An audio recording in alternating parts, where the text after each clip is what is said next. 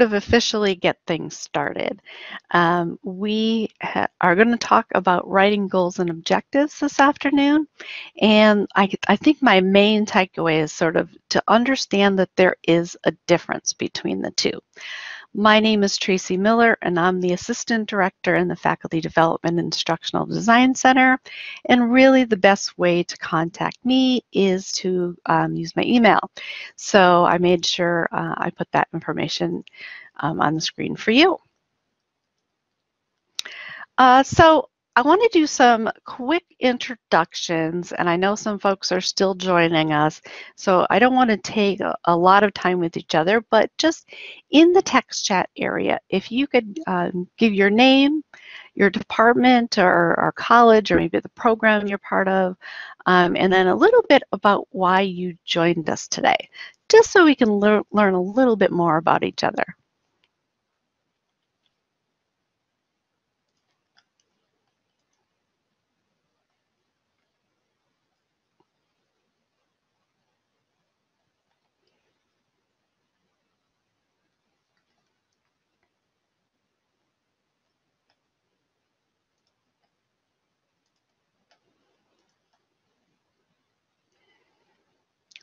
My computer shows me that several people are typing, so that is great news. As you are typing though, I'm going to kind of just talk a little bit about the workshop goals I have for today.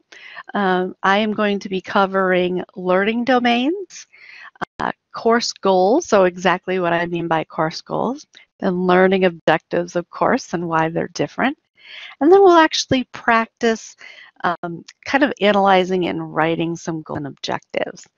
Uh, so I can see some folks are introducing themselves, so that's great. If there's anybody that um, you want to respond to, feel free and just kind of dialogue with each other. But I see um, we have um, somebody from the art department, um, Kevin's from sociology, Bill's from music, uh, Laura is from also from sociology, so um, maybe you you know Kevin. Uh, chemistry department, biology.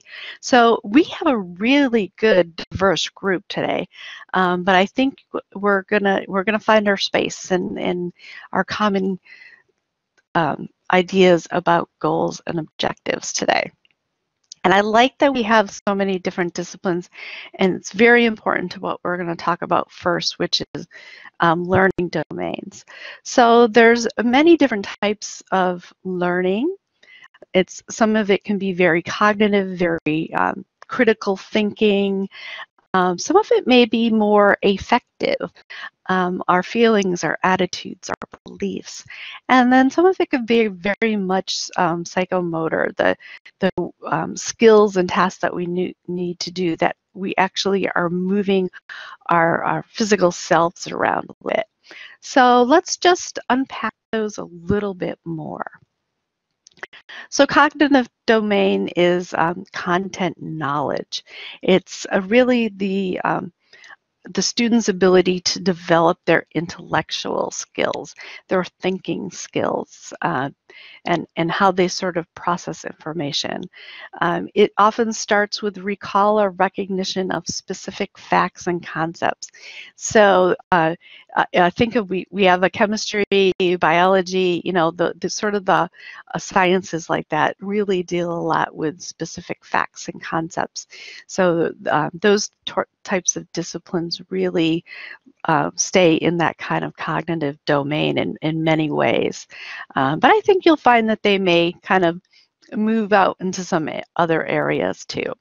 So another really um, cognitive domain would be a, an accountant student. So I used sort of an example of what we might expect from our accounting students. And I've kind of peppered in a lot of examples throughout this uh, workshop today.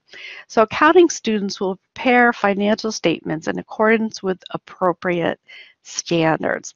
So that might be something that um, we set out that we want our students to be able to learn during our course.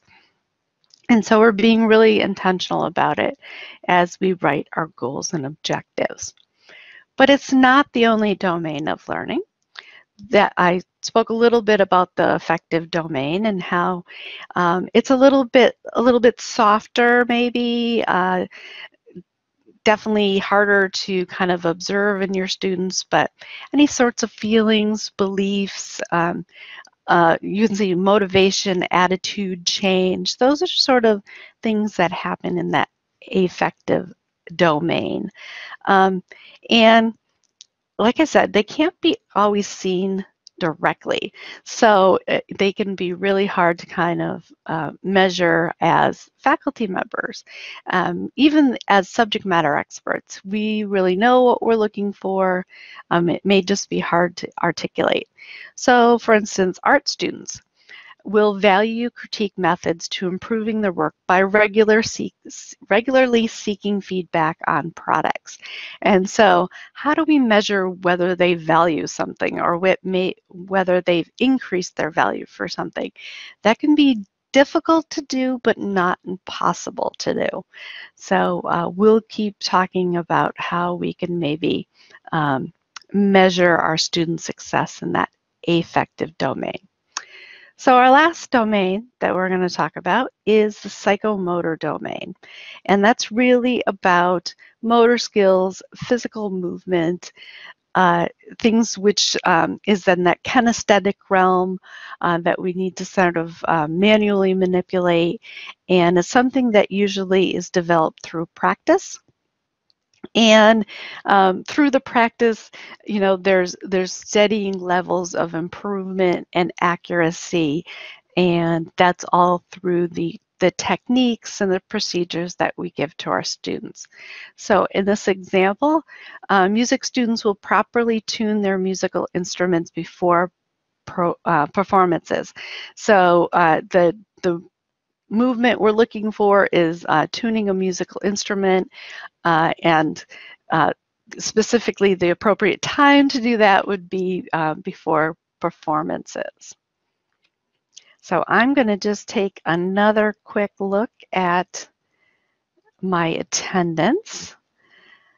I'm always really careful about that because for the folks that need to uh, fill out service reports or um, they're going for the graduate teaching certificate, we, I want to make sure that my, my attendance is up to date.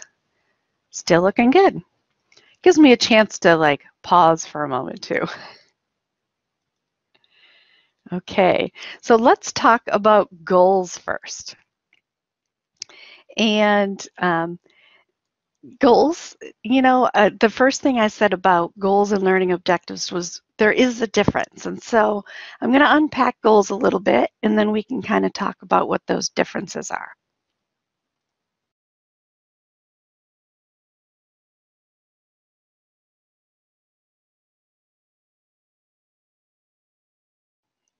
Okay. I had a little tickle in my throat, so I took a moment just to try to clear it a little there.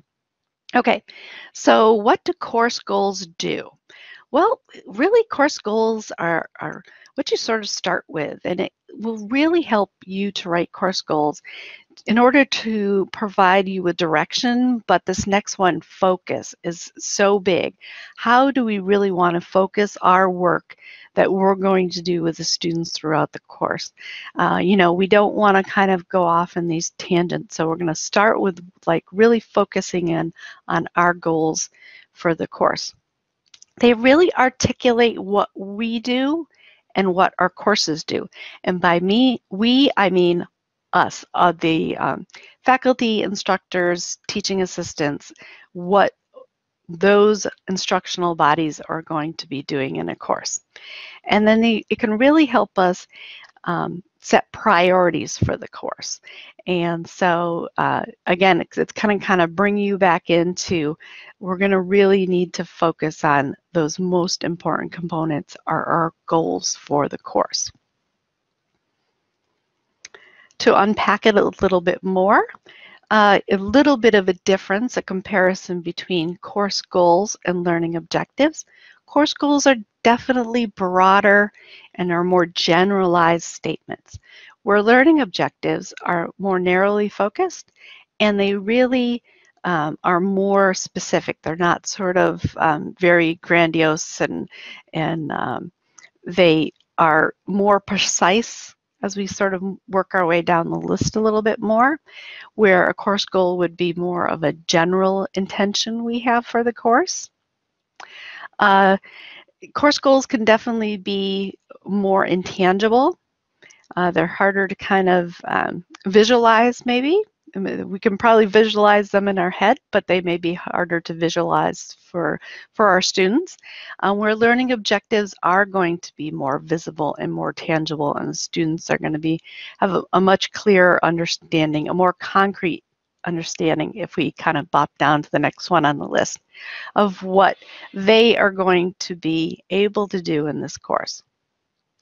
Um, course goals I, it says cannot be validated. I'm going to say they don't really need to be validated. They're still kind of your, your hopes and dreams for the courses, um, but then those learning objectives really need to be validated or measured in some way or observable in some way. Um, so those are, that's, that I think is one of the most concrete differences between a goal and a learning objective is whether you can measure them, which the next one says difficult to measure, and a course goal and a learning objective, they should be easy to measure. When you're coming up with your course goals, you're going to focus on the big picture. How, how is this course really going to unfold? Where a learning objective will focus on the parts of a picture. So different elements, different components within the course. I promise you that is that was a very broad, generalized review of the difference between a goal and a learning objective. And uh, we're going to go over that, all of that in more detail. So here are some examples of course goals. And these are all written in different ways because they really do come from uh, different perspectives as a faculty or instructor comes up with um, a course goal. So students' perspective on civil rights will improve. Very generalized statement, um, definitely very difficult to measure, um, but it begins to um, paint the picture of the course and what the course is all about and what the course again is, is going to be covering with the students. Um, you can go ahead and, and read these. I'm going to just pick out a couple of um, ones that I think have key points. Um, this one, my goal is to help you develop an understanding of and an appreciation of Shakespeare's plays. And so that's really connects you with your students too because it's saying, here's my goal as the instructor. And here's my role as the instructor because I'm going to help you, right? And then there's um, understanding of and an appreciation for. So that appreciation for um, can really get into that affective domain of learning. Um, but again, it's a goal, so it can be very difficult to measure um, and uh, it, it, may be too sort of generalized in some ways. Um, let's see. In this course, I'm going down to the last one. In this course, you will learn skills for college success and lifelong learning. And that is a great outcome that you want for your students. Um, and I think it, it also shows a sense of how much you really care about your students, that you're, you really want them to be successful and not only be a student now, but in the future. But certainly it's hard to measure lifelong learning unless you're sitting side by side with your students in, for the rest of their life. so you can see where these things uh, may be much more um, broad sweeping than um, the specificity that we're going to look for in learning objectives. So some tips, I always like to share some tips for writing course goals. Uh, when you begin just brainstorm those concepts. Uh, I don't know how you sort of like to organize your brainstorms, but I like big, uh, big posters and uh, sticky notes and kind of just free um, jotting down ideas and then you know maybe uh, moving those things around. And so really give yourself that freedom when you start to write your goals and then start to organize them and sort them by content area. So they have a, a sort of flow to them. And that's where I'm using those sticky notes and um, I'm kind of moving them uh, around and sorting them according to content areas. Um, fine tune your final goals. Um, again, they're they're probably going to be kind of sloppy and all over the place, but give yourself that time to really fine tune them. Um, use maybe a common language in them. Uh, you know, anything that you think that really will polish them off, go ahead and do that. I would say limit them to three to five goals. Uh, you know, that you can only accomplish so much in your course and your time with your students. And then finally, consider some non-content goals. So um, that may be something that really is um, outside of what you are trying to teach them, but is still important. Maybe you want them be, to um, become a better writer, even if it's not a writing, writing intensive course. Maybe you want them to be able to network with each other. Um, so, you know, whatever it is, I'll think about those, um, those other goals that may not be um, as tightly connected to your content. Um, so I want to kind of wrap up goals with a little bit of a summary of what we just talked about, uh, kind of bring it all full circle for you. Um, goals really express your wishes and hopes. Um, it states what you do and what the course will do, not necessarily what your students will be doing. And we'll, we'll really talk about that uh, distinction soon. Um, and you know that's exactly what the next point is is um, it's about the learning experience, but not about what they are able to do or what they are going to learn. Um, it creates a sense of purpose and meaning. Um, purpose and meaning is really important from a student-centered approach where the students need to understand um, why what they are doing in this course is important, how it helps them be successful, and, and how it will help them be successful down the road. And then course goals really start that framework on how the course is going to look. So that's our brief synopsis of learning objectives. I'm kind of looking at my time. Uh, this is the first time I've done this workshop, so it's that's always fun, right? You know, you, if you ever think about some sort of um, lesson plan that you've come up with, and you're wondering um, how your time is going to go, um, it, that's can always be refined in uh, future iterations. That the first time is always an adventure. So I'm, I'm feeling pretty good about my time so far. So I want to make sure that I pause for a moment before we talk about learning objectives and um, offer up the text chat area for any questions that you may have.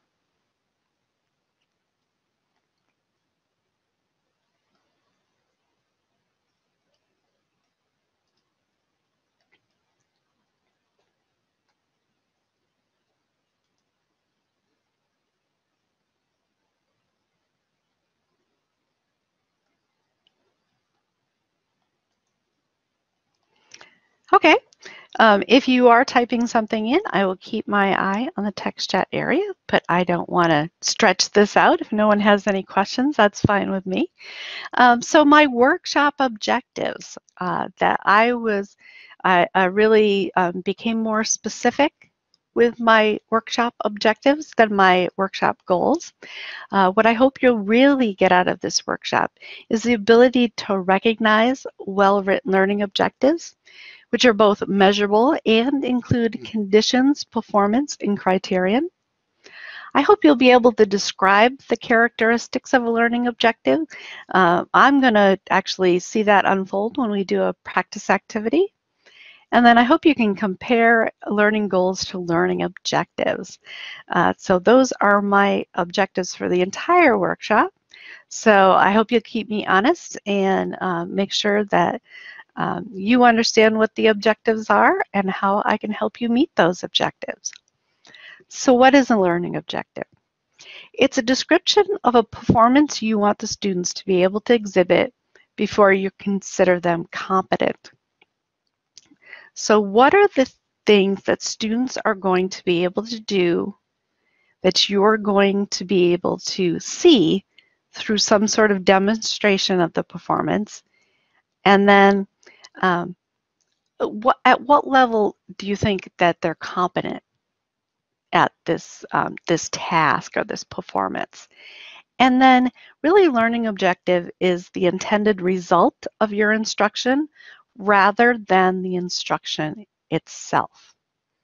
Okay, so we're kind of moving um, from that uh, what the course is going to do, what you are going to do into the course, to what the students are going to be able to do because of your instruction.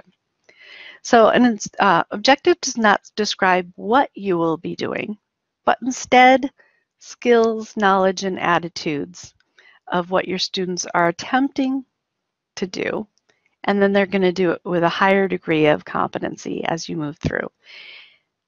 Okay? Learning objectives are student-centered, and I mentioned student-centered earlier. It really does come from that student-centered approach to um, a learning experience. You're thinking of it from the student's perspective learning objectives should be written from the student's perspective. So you can start it off with something like, students will be able to, when you're writing a learning objectives, or even more directive and personalized, you will be able to. They definitely should be related to the course goals. They sh certainly shouldn't be in opposition to each other.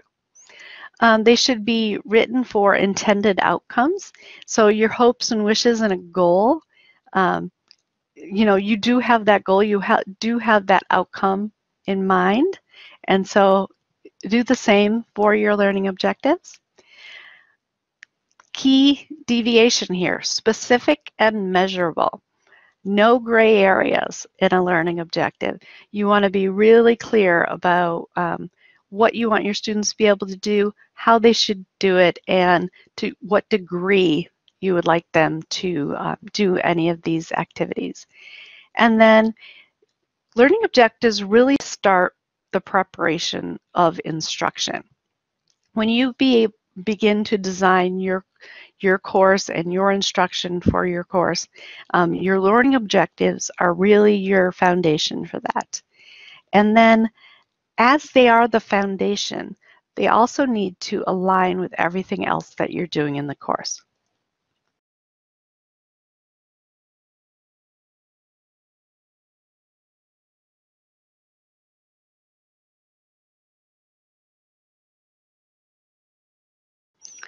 So I wanted you to take a moment to kind of take that in a little bit. So here's a different graphical representation about what I'm talking about, how everything needs to work together and align with each other.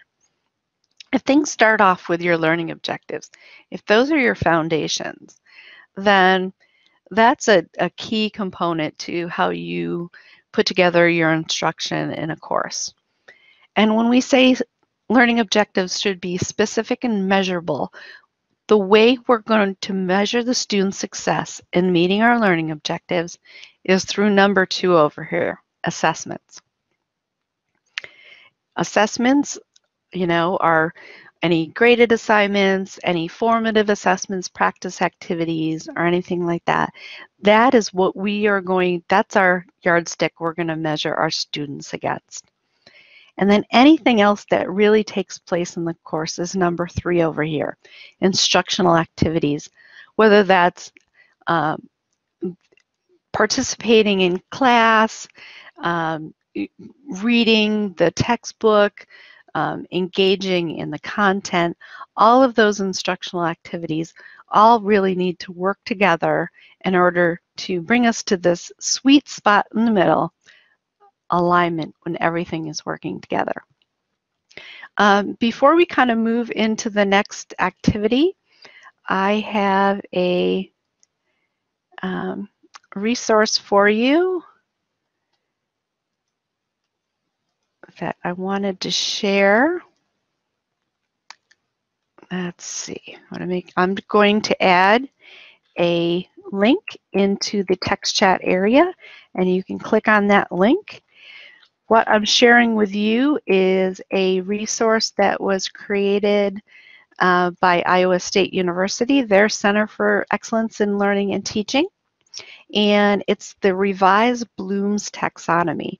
So there are some um, action verbs on um, how you can create awesome learning objectives.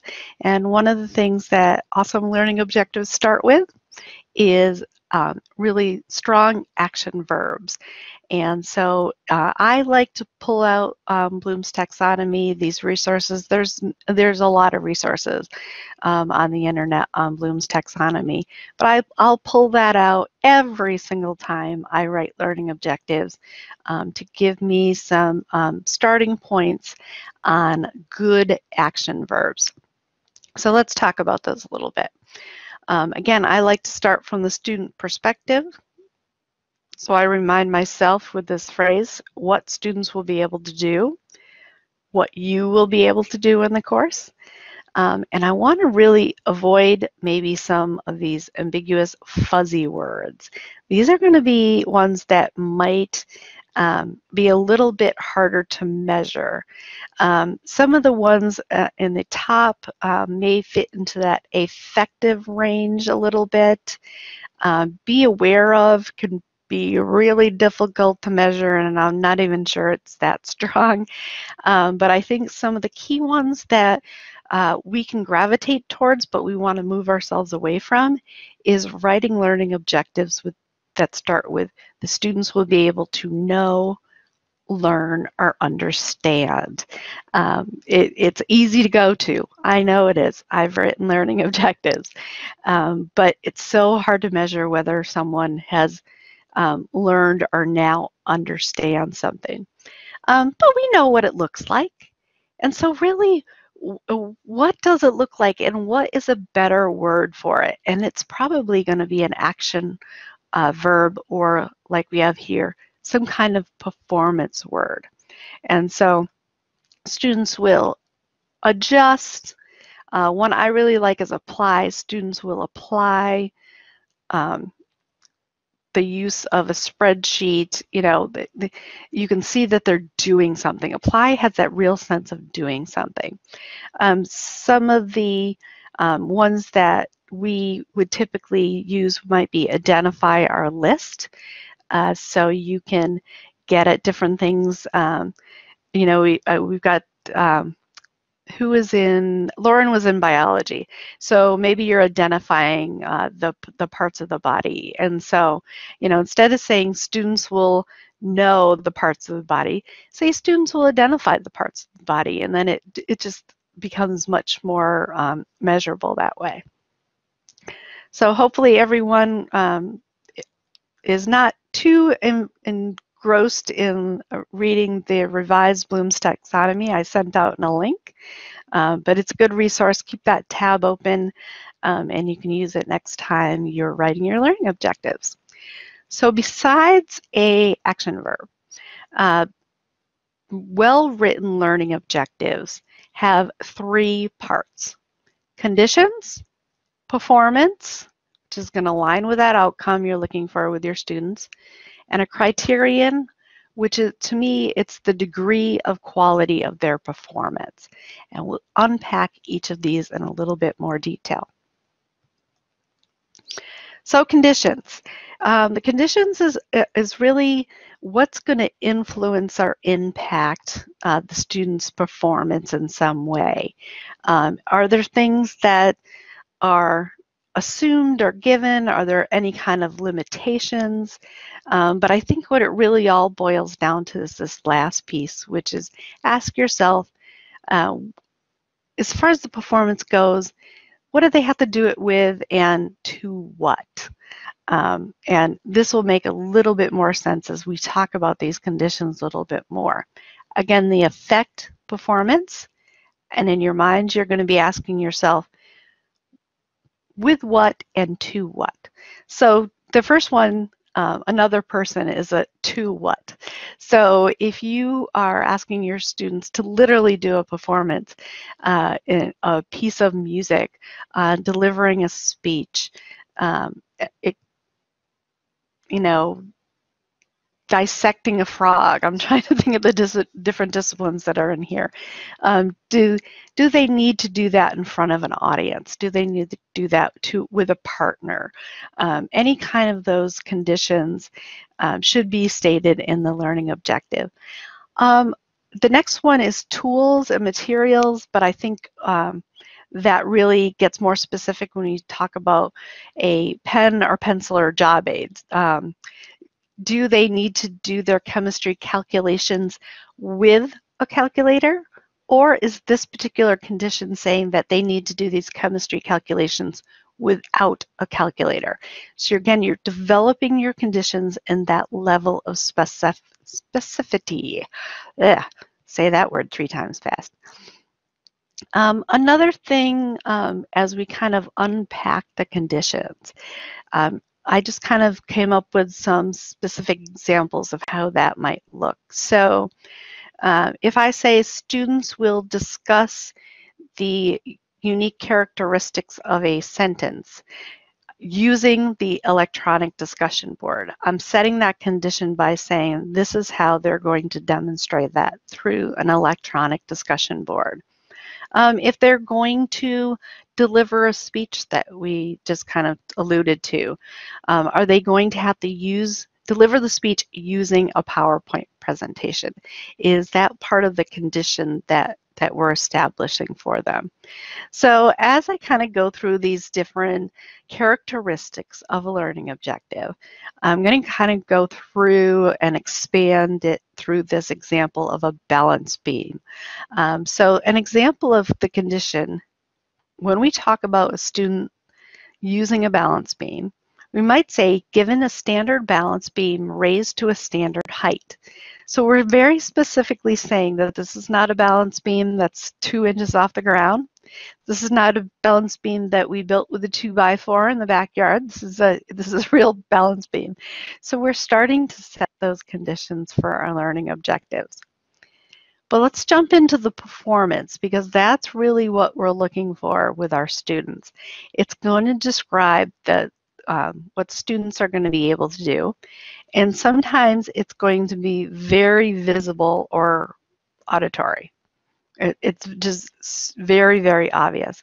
In other ways, it's not as observable, but it may be something that um, you can determine um, through some sort of work that they're they're going to be doing, um, whether it's part of a um, speech that might be a little bit more behind the scenes. It may not be as observable, um, but you really are, there's a balance. You're looking for both of those things. Um, it, it, you are definitely going to be doing something. Um, or your students are going to be doing something, I should say. Um, and if you can really think about it being being active in something that the students do, it, it really can help you write your learning objectives. Um, and then, of course, it, it's an intended action. It's not um, sort of an accident. I had someone ask me a couple weeks ago about, um, it was sort of like doing calculations for chemistry. And she said, well, of course you have to do them accurately at the whole point. And I thought, well, you know what? If you don't say they have to accurately calculate this formula, then they could calculate it incorrectly and um, sort of, sort of still meet the performance. And obviously we wouldn't want them to do it incorrectly, but you know, it does show that intention that way. So here's some examples um, of what performance might look like um, from you know some various different disciplines. So um, students will be able to assemble a microscope. Okay, so that's going to be part of the learning objective. They're going to be able to compose a paragraph using three sentences. Uh, they're going to be able to solve a problem. Um, we talked about identifying uh, parts of the human body. This is even more discreet with label all the bones in the human hand. Um, and you can see there's something that students really need to be able to do and you can observe it through their performance. Um, so if we kind of stretch out that example of a uh, the balance beam performance, Um, in this example, it would be to walk the entire length of the balance beam. So we're not just, again, we've got the balance beam to standard height. It's a real balance beam, and we actually want them to walk the entire length of a balance beam, not just two steps. Uh, so let's talk about criterion.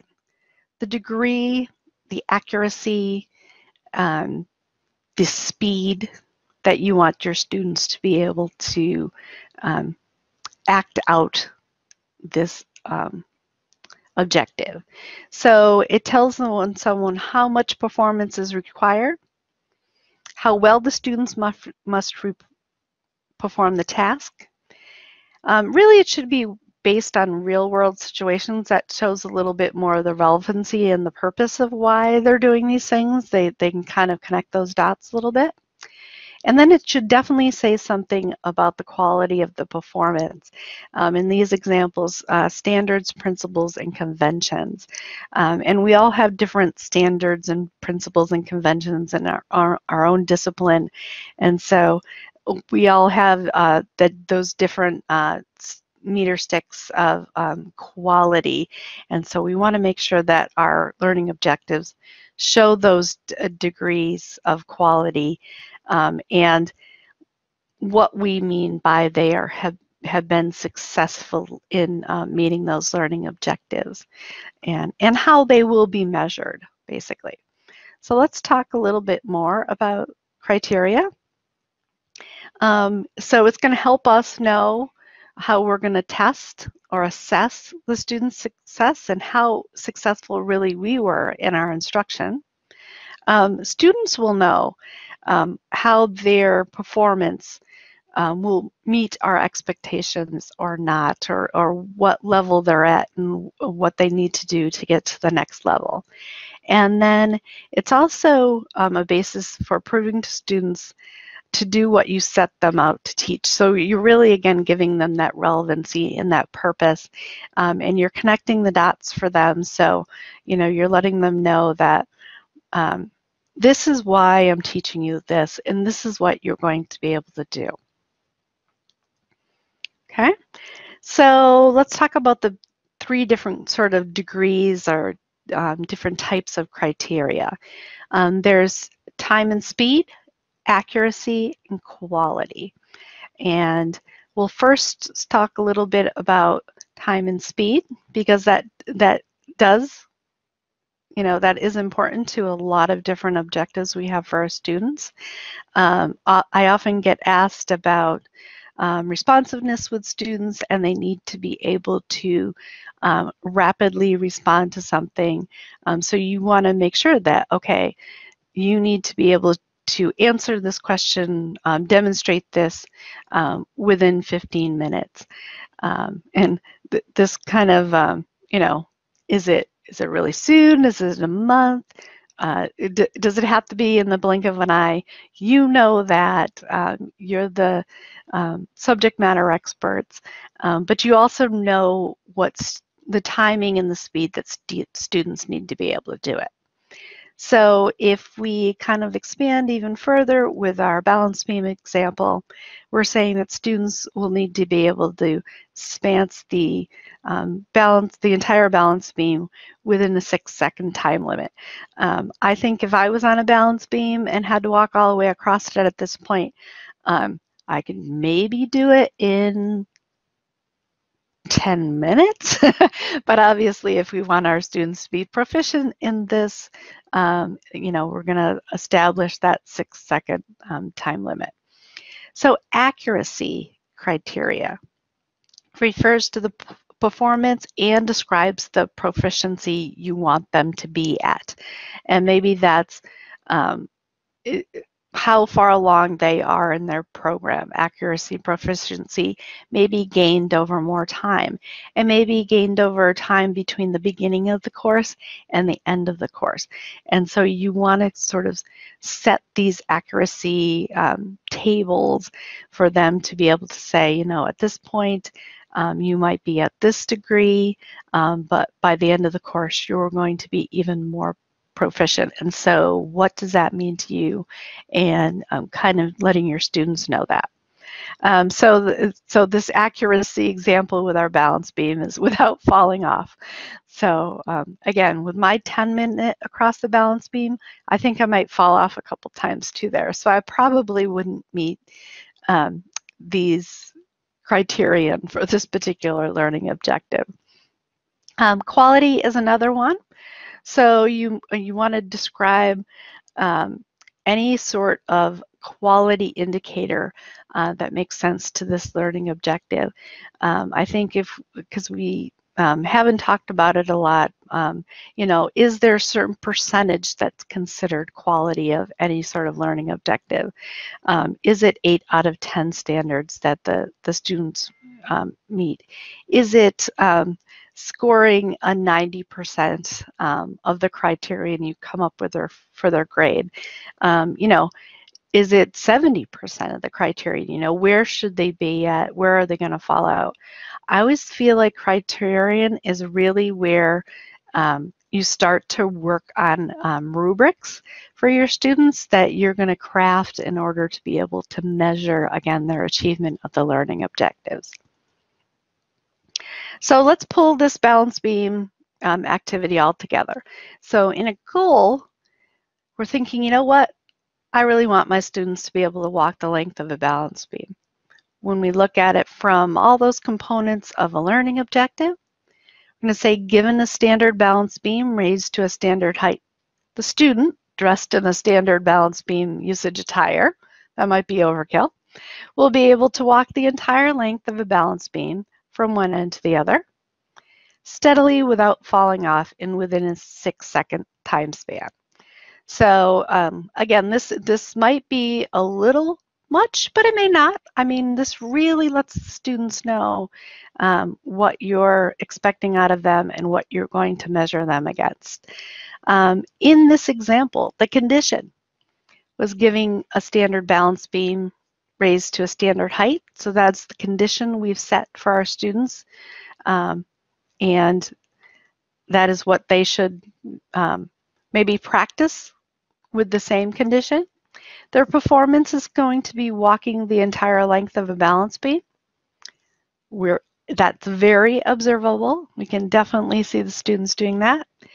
And then how are we going to measure the quality of their performance? And that's because they're going to steadily, without falling off, and within a six seconds um, time span.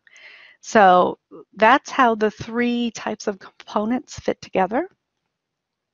Um, but why should we care about? This is a lot of work. Why should we care about it? Um, it's really going to help you in your instruction. It's going to help you select the appropriate um, media and materials. It's going to help you with your lectures and your course time um, because it's, again, going to really focus you. Um, any sort of activities that you put together are all going to be based off of the, your goals and objectives for the, the course. It's going to help you set your expectations for the course. And then your students are really going to be able to meet your expectations because they have that clear picture of, of how it all is going to work together.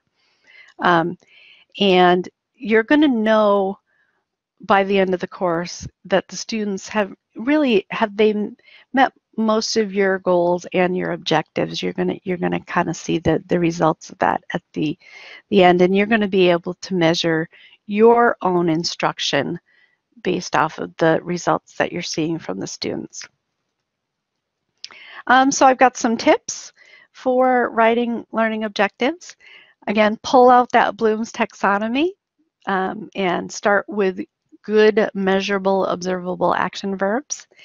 Um, build upon existing objectives. You don't have to start from scratch. Look at your own learning objectives. See they, a couple things that I noticed that you know they'll either be written from that what we're going to cover in in class instead of um, what the students will be able to do. So you can kind of flip those around a little bit. The other thing I've seen is the the learning objectives that will start with um, learn, know, or understand again, you're still going to pull out that Bloom's taxonomy.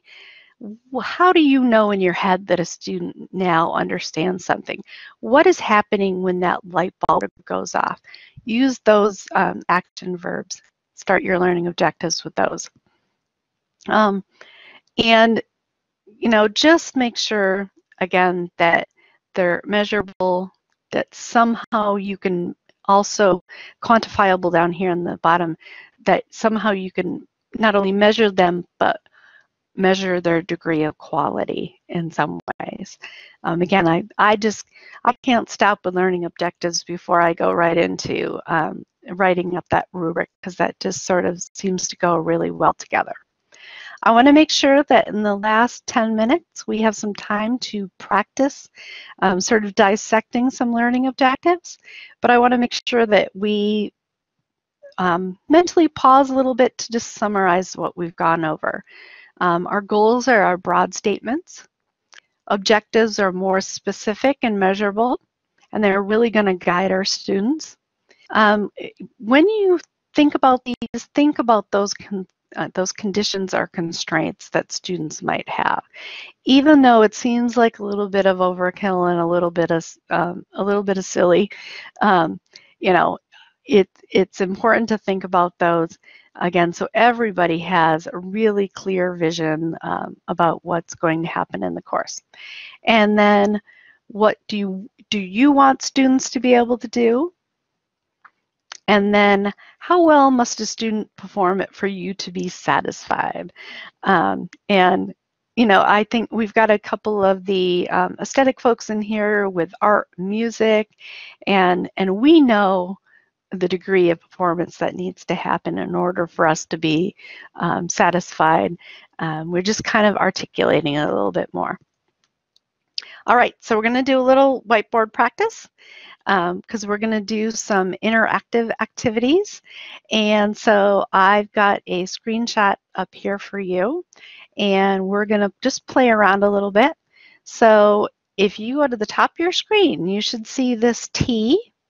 If you click on that, that's a text box. And basically what you can do is just click somewhere on the screen and start using the whiteboard. The whiteboard is just the screen right in front of you. So you can um, type your name. I can see some highs, I can see some hellos and smiley faces. Every, everyone's using a blue pen. Just so you know, you can use the dot at the top. That will let you change your color. Happy Valentine's Day. Someone's already figured it out. Awesome job. Okay, another thing you can use is uh, the shape at the top. You, can see there's a couple different shapes to choose from. Um, basically a rectangle, a circle, or a line. So you can try that out a little bit. Again, you can change your colors.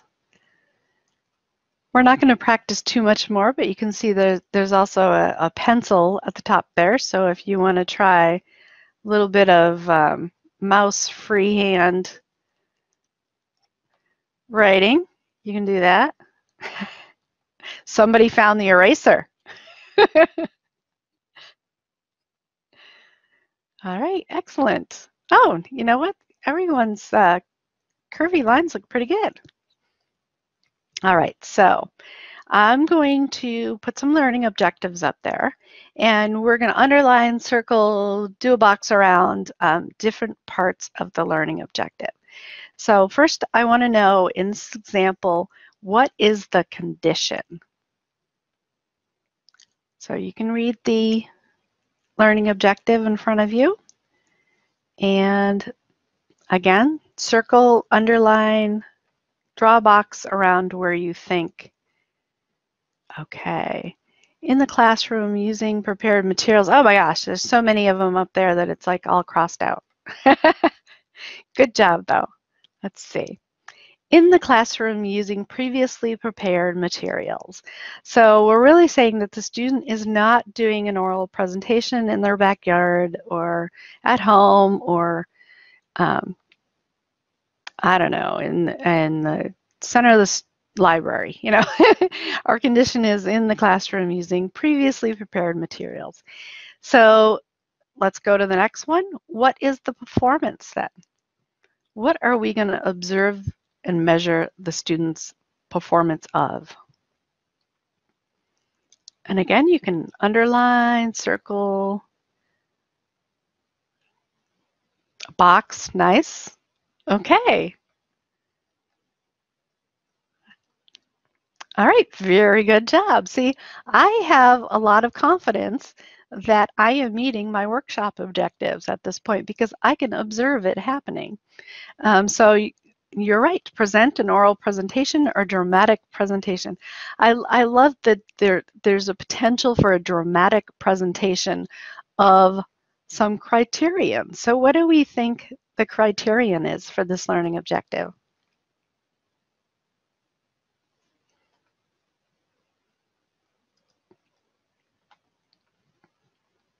Accuracy is definitely some criterion, right? That that is the degree that we are looking for.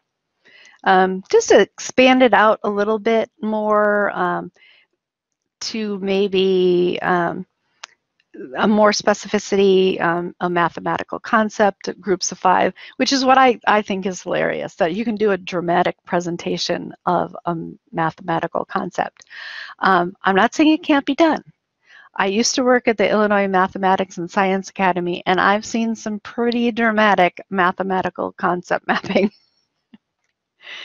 okay, let's try it again. So what is the condition for this learning objective?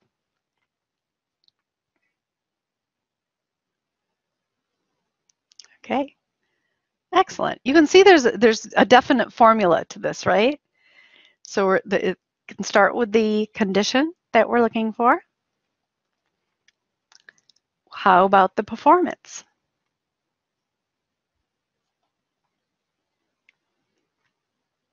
Yes, we're doing the action verb at the, the beginning. It's observable. We're talking about a paragraph. We're not writing a discussion post or a uh, text message, right? Awesome. How about the criterion?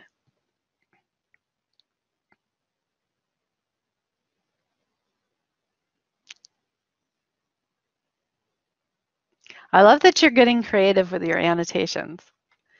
Excellent job. So I don't I don't want to make it too easy on you though because I did say that there is a formula to it. But think about that formula when you're writing them yourselves. You know that there's there's that condition, performance, and criteria. So um, fuzzy objectives might be better as goals, um, just to hone in on that comparison a little bit more. Um, I, am saying in this one, you will understand how to develop a nutrient management plan. And so that's a, it's a very good course goal.